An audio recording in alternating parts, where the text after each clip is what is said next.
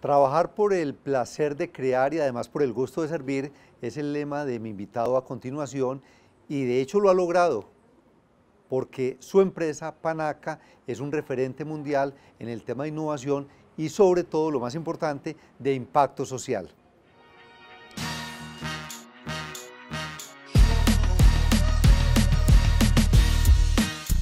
Jorge Valen es mi invitado y es el eh, creador del concepto Panaca, un parque bien interesante en un país como Colombia. Bienvenido a nuestro programa Negocios. Bueno, muchas gracias Juan y aquí con todo el gusto de poder enseñar algo de lo que hemos aprendido.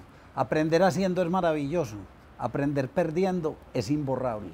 Vamos a hablar inicialmente de esa creación del concepto porque, pues aunque es conocido como un parque, ha trascendido mucho más allá de las fronteras de Colombia y hoy sus productos y servicios están en muchos países. Sí, claro, Juan. Eh, el concepto Panaca es un concepto universal. Mi padre dijo cuando yo estaba empezando esto, que consulté mucho con él, un hombre muy sabio y muy culto, me dijo, hijo, tu concepto, tu sueño, yo lo voy a acompañar. Y nos acompañó con mucho espíritu, con mucho gusto. Dijo, disfrutar la vida desde lo elemental. A la humanidad en el siglo XXI le va a ser lo más necesario pero a la vez lo más escasamente ofrecido. Y Panaca es un concepto donde se manifiesta por todas partes la simpleza y la grandeza de la simpleza. Entonces, es un concepto que la gente dice, ah, yo sí pensaba hacer como una finca, ah, yo sí soñaba tal cosa, porque casi toda la gente tiene los sueños de los creadores, pero no los imprime. La gracia es cuando se es soñador, también ser editor de sueños. Vamos a contar inicialmente la parte del Panaca tangible, del que los turistas de todo el mundo visitan año tras año, para que luego hablemos del tema de la educación y cómo ha trascendido al campesino. Bueno, lo más importante de Panaca es que es un producto absolutamente interesante, vigente y todos los días más coherente con las necesidades de la humanidad. La humanidad se desnaturaliza, la humanidad se citadiniza, la humanidad quiere vida de ciudad, pero le hace falta el descanso, la placidez y el gusto que le da la ruralidad. Entonces, si todas las gentes en la ciudad juegan con muñequitos y con animalitos, ¿qué niño no ha montado en un caballito de palo? ¿A qué niño no le han dado el pony de la Barbie? Pero ¿dónde un niño ha alimentado un caballo en la vida real.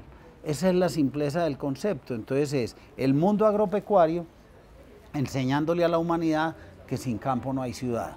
Pero enseñarle a la humanidad que sin campo no hay ciudad va teniendo una extensión de concepto y se van perfeccionando los shows o los espectáculos del parque y se va generando arte. Hoy tenemos una obra linda que se llama Travesía, Cinco Continentes al Galope, es una puesta en escena con artistas formados en Panaca y dirigida por gente pues que ha trabajado hasta para el Circo del Sol.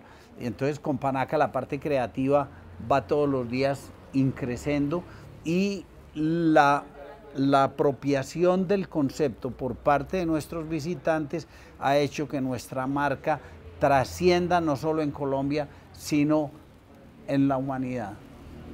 Bueno, y ahora hablemos de ese componente social que tiene que ver con la educación, eh, pero no solo a los campesinos, sino también cómo el concepto de la Fundación Panaca se aporta a todo el tema del posconflicto. El concepto educativo Panaca tiene este principio y es, sin campo no hay ciudad, sin, sin campesinos no hay campo y sin una educación pertinente y habilitante para esos campesinos no habrá para ellos prosperidad. Entonces los campesinos del mundo son titulados de campesinos y la gente en los gobiernos y en las instituciones de formación y todo piensan que la educación es transversal y es igual para todo el mundo. Nosotros lo que hacemos es darle capacidades aplicables, incluso sin dinero, para que se transformen las prácticas de producción rural en cultivos o en pecuaria en los campesinos de Colombia. Hemos formado ya cerca de 3.000 campesinos. Eh, que están trascendiendo en sus comunidades, porque nosotros no formamos gente para la empleabilidad, aunque tenemos unos productos para ello. Nosotros formamos líderes rurales que vuelven a sus comunidades como maestros de prácticas y de conocimientos desconocidos por ellas y que tienen gran trascendencia en su productividad. Y les enseñamos una cosa muy importante, la emancipación agroalimentaria. Un microempresario cafetero, un cultivador de primer nivel de cacao, de plátanos, de bananos, un ordeñador de 10 vacas de leche, muchas veces tiene en su propiedad la oportunidad de en 500 metros, en 1000 metros, tener una emancipación agroalimentaria. Una comunidad rural puede hacer eso. Entonces, las comunidades rurales postulan candidatos, ellos vienen a formarse en, en, Panaca y vuelven convertidos en unos maestros para ellos. Pero este mismo concepto lo aplicamos desde un inicio para el posconflicto. Yo fui una persona muy sufrida en la guerra.